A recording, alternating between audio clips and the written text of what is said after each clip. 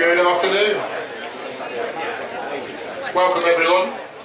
Thanks for coming, joining us this afternoon in the post-lunch lull. Uh, my name's Matt, I work for the Organic Research Centre and for the Agricology Project.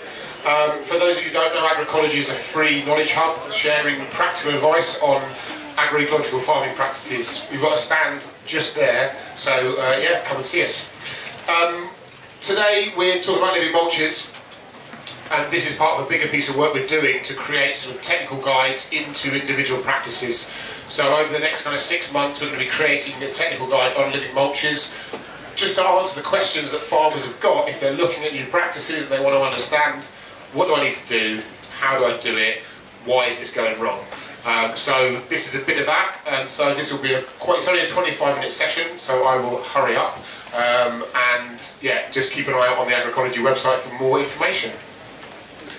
Today I'm joined by another Matt, a slightly more handsome one and one who's got more hair. Uh, this is Matt England of the Fring Estate. He is the estate manager there.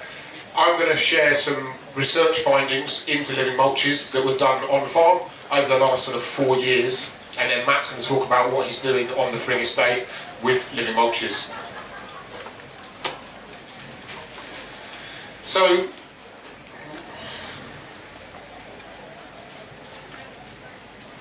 just get this to work.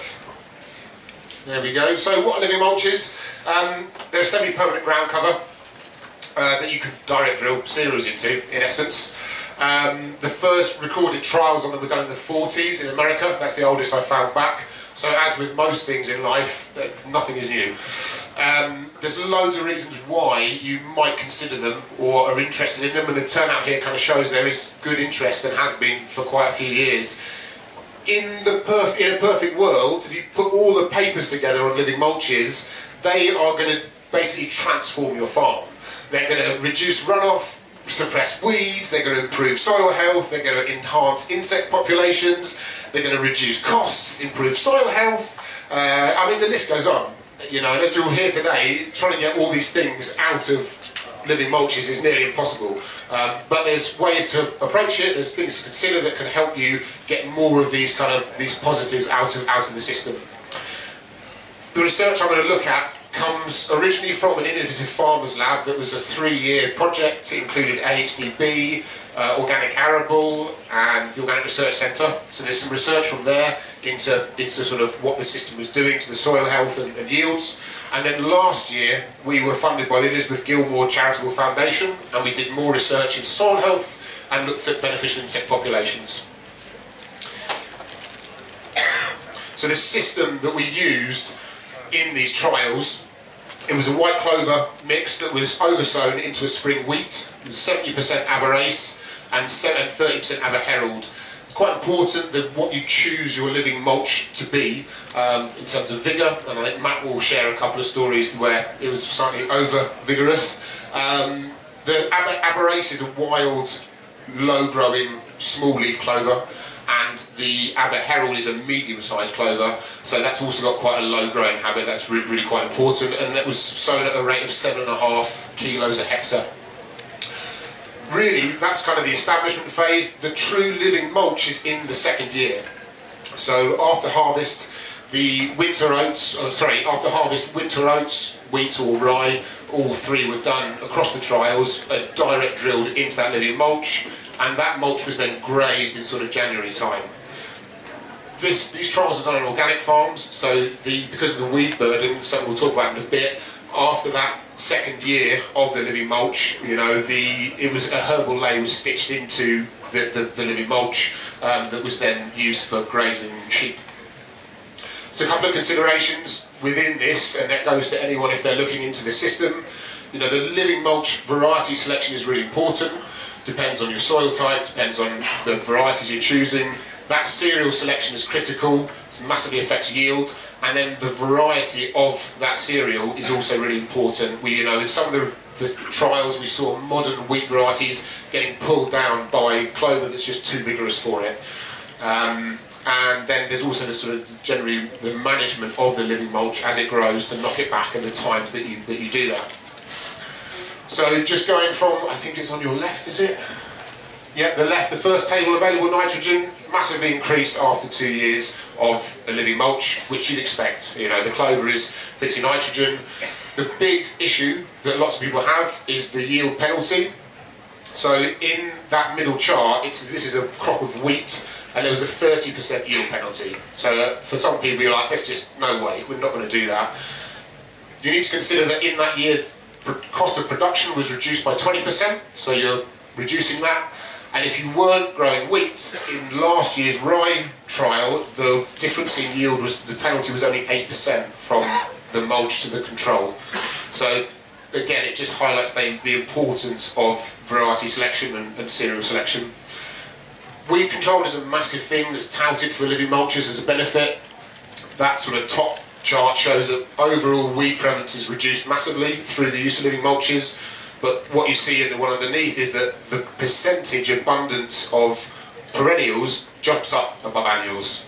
So on this particular farm, they had a massive charlock issue. That was almost knocked out, but thistles and docks, they've really come into their own in, in that living mulch system. Again, it was an organic farm, so there are other control methods available if you're not organic, and that might mean you can run the living mulch system for a bit longer and not suffer from, from the, the perennial weeds. Soil structure, this is last year's result, soil structure across the, all the sample plots in the living mulch, way, way higher, um, and that's kind of was found in the years before as well.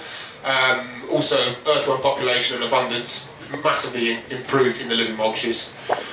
Slightly kind of unsurprisingly, in one from one avenue, unsurprisingly, slug population is much, much higher in the living mulches.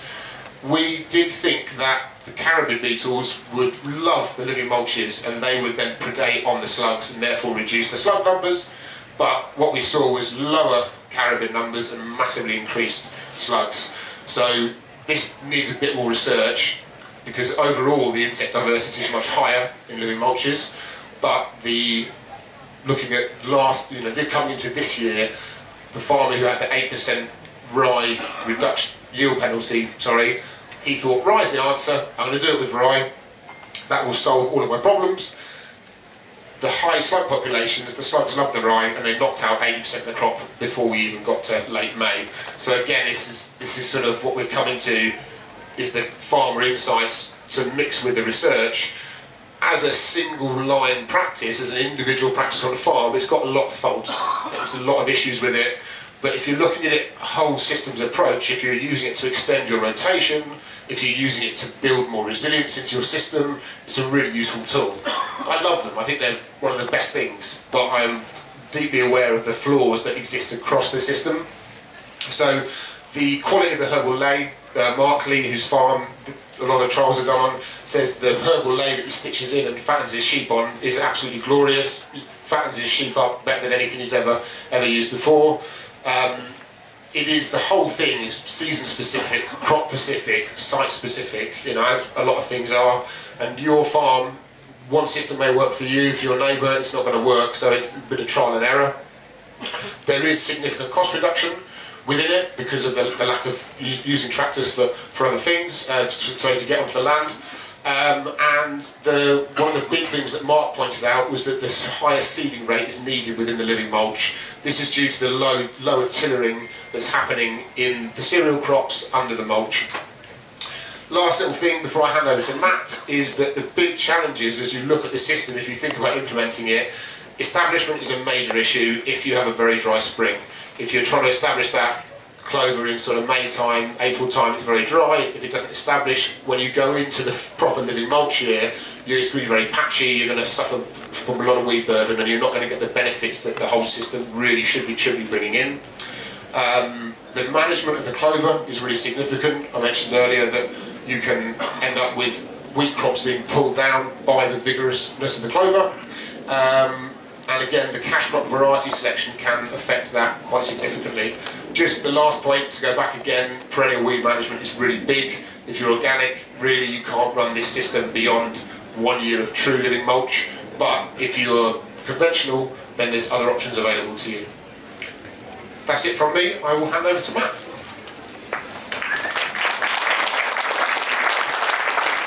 Thank you, Matt. Um, yes, so I farm on the Fring Estate in northwest Norfolk. Um, so we part of the farm is tenanted from the Sandringham Estate, and that part of the farm is farmed organically. Now this is the, the area of the farm that we're trying the living mulch trial on, um, and this is quite difficult because it's very light, sandy soil and pretty low fertility. So it's been a bit of a challenge this year to get the, get the living mulch working, but it seems to have done. Um, so within our rotation, we're growing cereals, linseed, peas, and we also have pigs and cattle gravy on leys as part of that as well. So why living mulches? Uh, so Matt's run through quite a few of these points already, but I guess the main, the key point for me really is that I want to harvest the sun's energy in July, August and September when the solar radiation is at its highest. And typically, most farms, including ourselves, have absolutely nothing growing on the ground at that time of year. So I think it's key to make the most of that sun while it's there in the summer. And then a number of the other, other points here Matt's already talked about, um, so I'll just skip over those. Um, so I'll run you run you through our experiences on, on the Fring Estate uh, with living mulches and how we've got on. Um, so to start with, the first year uh, we had some established red clover, which I thought would be a good idea to try and establish some cereals into. We, what we did with it, we, we harvest, we uh, took, a, took a cut of silage off it in the autumn, and then in the spring we intended on sowing spring barley around March time. Now I tried this in three different ways. I ploughed and drilled it, which was sort of the farm standard. I then min-tilled and drilled it to try and knock the clover back a little bit. And then we tried direct drilling it straight into that clover sward. Now, obviously the plough and drill, the farm standard, was a success. Um, but the min-till and the direct drill were a complete failure. Um, I think this is probably for two reasons. Firstly, trying to sow a crop in um, in March doesn't really give it enough, enough chance to get away from the clover, especially when we were dealing with red clover, which is very aggressive and, and definitely not a species I'd use again in living mulch. I thought it was worth mentioning that in this year I was also trying intercropping out. Um, and this gave me some really interesting insights into what growing two, two species in the same field could give you as a benefit to your crop. Um, so we were trying uh, peas and barley, and also beans and oats um, in the rotation. And straight away I was seeing some real benefits. You see the picture on the left there um, was a, a, crop of oats um, where it's looking really healthy versus a monocrop of oats um, where the oats really weren't looking quite so good. So definitely some real benefits just to general plant health uh, by having it growing with a legume. I was then also seeing some real benefits uh, for weed control where I had a bicrop in place. Uh, the picture on the right there shows um, a bicrop of beans and oats on the left, and then a crop of beans on their own, which are absolutely choked out uh, with fat hen and thistles. So straight away you're seeing some real benefits, um, just controlling the weeds of having those oats growing with the legume. On top of that, throughout this period I was seeing um, how having clover within the rotation, especially when you can have it there for an extra year, um, really improves the, the following crop. Um, so you see from this green area index map there um, that that area there we left it we left two and a half hectares for another year and you could really see the benefit to the following crop. The picture on the left is taken from inside that darker area whereas the picture on the right is taken from the rest of the field. So definitely, I mean it goes without saying really that clover increases fertility but I wanted to find a way of bringing this within our rotation and living mulches seems to be the answer. So with that, last spring, in around April, um, I established Jura White Clover, which was undersown into a spring barley crop in April. Um, now luckily it was a really wet harvest, um, so the, the, clover really grew away quite nicely, so by the time it came to harvest, we had a really nice green, green mat right the way across the field. And once, once the crop was off, it really sort of exploded into life.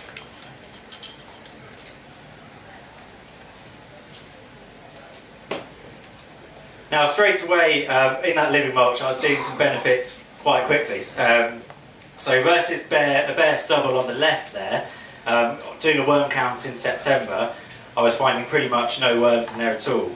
Whereas in the living mulch that same time, I was finding 10 worms plus. So, instantly seeing how clover is really feeding that life in the soil. So now we had this, this nice clover sward established, it was really trying to work out how you how you get a crop going. So this is what the uh, the field looked like on the left there. and then we, um, then in, in October and November time, we then got some sheep onto the field and grazed it really, really tightly, almost to the point where you could see sort of bare soil on the ground.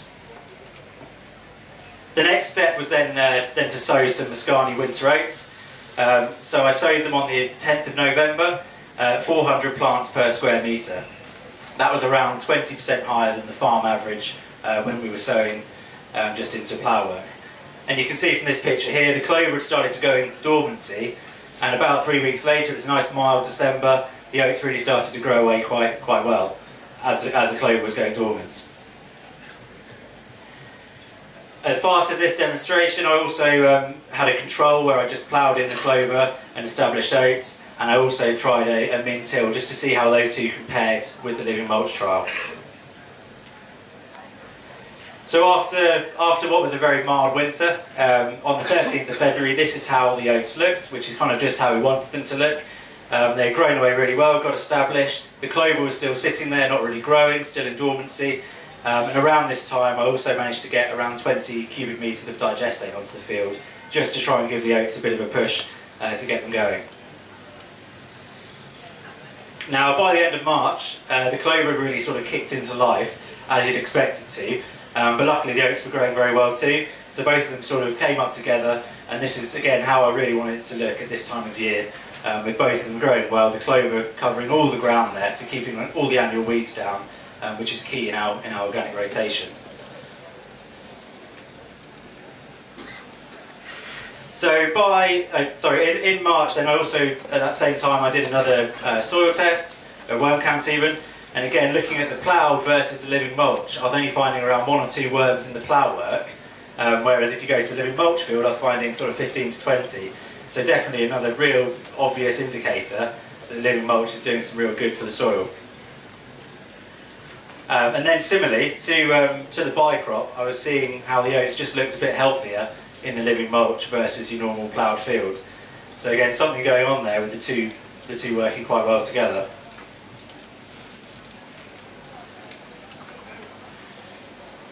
So how does uh, how does the clover look now? So this is this is how it's looking at the minute. Um, it was it was quite touch and go right the way through spring. They looked very very even. They were sort of competing with each other quite heavily. Um, but luckily, as the panicles started to emerge, the clover really did start to take over. They, sorry, the, the oats really started to take over, and the oats, the clover was just sitting in the bottom of the oats there, so it looked really good. The clover was doing what it wanted it to. If you look at the roots there, there's some nice nodules on there. It's fixing nitrogen in the soil. Um, it was sitting in the bottom of those, those oats. Um, the only downside I was seeing on areas of, of the field where the fertility was particularly low, and we do get quite a lot of variation in our organic system, especially with pigs, um, on those low fertility areas, the tiller numbers did seem to be quite significantly down. Um, so that's just something to, to consider, consider going forward. However, in the field where we had really high food fertility, especially on areas where the pigs had put down quite a lot of nutrition a couple of years before, this is where the living mulch really does seem to work, worked. There was plenty of nutrition there to, to really get the oats growing, so they did shade out the clover, they till it out nicely. Um, there's a Labrador in that picture for scale somewhere, just to show how tall they did get, but no, they were looking really good. So what does that mean for yield? Well, I've I've sort of done some till accounts to try and get an idea what, what yield I can expect this year. Um, and looking at the tillers, we are around uh, in the in the living mulch we've got around 228 tillers, um, whereas in the control there was around 324, so quite significantly down on tillers. Um, so it's looking like there may be up to a 20% yield penalty um, from the living mulch versus the control. However, it is worth mentioning that the, the actual panicles, look, the, the plants look a lot healthier, so it seems to be more seeds per panicle um, in the living mulch field than in the, in the control, so that might help bring yield up a bit um, also. It's also worth mentioning that there is a 20% yield loss here, but actually in, in an organic system we are building fertility in the rotation, which is kind of key when the control there is all that's doing is depleting it, and it's a second cereal, so it's never going to do particularly well after that. Whereas I could pretty much guarantee after the living mulch trial, I'd get a pretty good crop afterwards. Added to which, we've managed to get a crop established in a way um, without any, any major weed problems and without having to till the soil, which is something I haven't really done before organically. So the key lessons I'll give to you to take away if you're going to try it at home. Um, I'd say that spring crops definitely don't work. There's not enough time for them to get established and get away from the clover. Um, and then if you are going to try autumn crops, I think it's key to sow once the clover has gone into dormancy, or at least is going into dormancy, sort of just before it goes into dormancy. Um, and then if you can knock it back with sheep or something, um, that will give you give you oats or whatever cereal you're growing a much better chance to get away. Um, and then finally, the living mulch does seem to have been a success in these areas of the field where I've got lots of fertility. So maybe in a conventional system, or perhaps if I if I fed the crop a bit more, um, I might have got got different results. So that's pretty much all I've got to say. Any, any questions at all?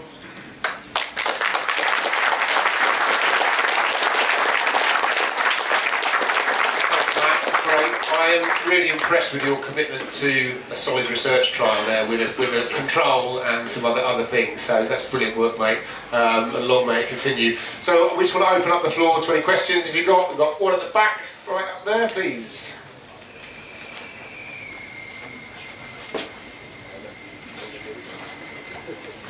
Thank you. Could you talk a bit more about whether it would work this year? Will you, will you keep using that living, living mulch in an organic system? And the, first speaker, you said it wouldn't work because the build-up of weeds. But that's obviously the holy grail for organic, where we have we end up using the plough, which uh, makes us very unpopular at places like Groundswell. Um, yeah, so I think I'm looking at Mark Lee's system. He's up in Shropshire. Um, that second year of living mulch, the increase in perennial weeds, particularly on his farm, you know, it's sandy loam, he's got outrageous levels of thistles and outrageous levels of docks, which means he just has to he has to plough. You know, when he puts it into into a fertility building lane, then he, he goes back to ploughing to control those weeds. He would rather not. He'd love to do more. And I know of some conventional farmers who are running that living mulch for two or three years in its full full state but I haven't seen any organic farmers who have had to terminate. I don't know what you're going to do on that, Matt. I think with that field, we, we probably will try it for another year. We do have a few thistles coming in, but no more than in the in the sort of farm standard where we ploughed it. Um, so I think it'd be it'd be a shame not to then try and, and, have another go and see if we can get another cereal established. Whether I try rye or, or winter oats, we haven't quite decided yet. But yeah, I think the looking at Mark's situation is that if he has poor establishment and you've got patchy germination, you're on the back foot. So it may be that you have, a, if you had fantastic germination and coverage, that that perennial weed issue is going to remain lower, so you might get away with it for a couple of years. Um, you'll have to come back next year to hear what Matt says about how that works. Any other questions? Down here? Just making you walk all the way across, and then we're going to go in the middle after that.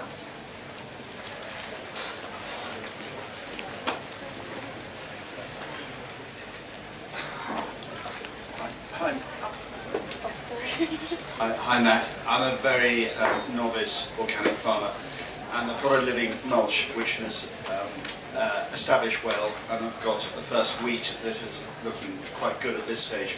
What will you do, because I want to follow it on with another cereal, would you have to follow that, do I have to follow that with wheat or, or would I be able to follow it with oats do you think, if I, if I planted it late and let sheep graze uh, well into the autumn the uh, wheat stubble? I think any any cereal, if you can guarantee it can get away and get ahead of the living mulch, I think that's key. It needs to be competitive and be able to, in the spring, come out the blocks and really start to shade out the clover. I think that's the issue we've had in a few places where, where it doesn't shade out the clover is when the clover starts to take over a bit, and that's where you start to lose those tiller numbers um, in the field, I think. So, yeah, I mean, I, am going to try, I think I might try winter rye because I know it's going to be competitive out the blocks, but I'm sure you could probably have another go with with wheat again or, or winter oats. Okay, we've got two more questions. We'll just go quickly on the right behind this chap and then we'll jump to our man in the middle. Hi, thank you. That was really interesting. Um, I've got a living mulch in situ at the moment, which is looking a lot less good than yours. Uh, I've got a couple of questions. One is what drill you used, and the second one is was there any mechanical weeding or sort of management of the clover post sheep grazing? Um, so we've got a Horsch Pronto, which isn't, isn't a direct drill, but luckily we're on quite light sandy soil. Um, so if, if I do, if I drill into it with the Pronto and roll afterwards, it does sort of seal the slot and it, and it seems to work. So I mean, potentially we could have got better establishments if we did have a, a proper direct drill. Um, and then the other question, sorry, what was the other question? Any mechanical weeding of any sort? Um, I, I tried, I was harrowing the field next door, just in, in, a, in a ploughed field next door, and I thought I'd run over the clover and see if I did anything, but no matter how aggressive I went with the harrows, it didn't really touch the clover at all. I left a couple of strips I didn't touch, and you wouldn't, you wouldn't have spotted it. Thank. My last question in the middle. Yeah. Hiya, I'm um, a biocomplete compost maker, um, and I'm fascinated uh, it, that that's another type of living mulch, isn't it? The maximum biology compost, and sort of uh, had this. Basically, I don't know why sort of seed composts don't exist to sort of complete the, the you know the regenerative soil cycle. You get the biology back, and then you get the plant roots in one application. I'm just wondering if you guys had any experience, had any thought about applying cover crops with biology extracts or compost, uh, and, and whether or not you can imagine that helping or being viable. It's possibly just not economically viable because of the way farming happens. But I'd just be really interested if you had any experience with that. I haven't got any experience with it, but there's a chap speaking tomorrow afternoon at 3.15 in here, Tom Knowles, and he applies Johnson-Su based compost teas into, onto his arable crops, and he is using a wild farm system, so there's going to be some form of bicrop or undersowing in there, so it might be worth to have a chat with him. Um, so I don't know if you've had any experience with that. Uh, not really. I'd say the, the more fertility you can get into an organic rotation, the better. So if you're putting on compost and then seeds afterwards, that all, sound, that all sounds great, really. So. We're going to have to leave it there, folks. We've overrun. Thank you for your time. If you need more information, come and see us over there.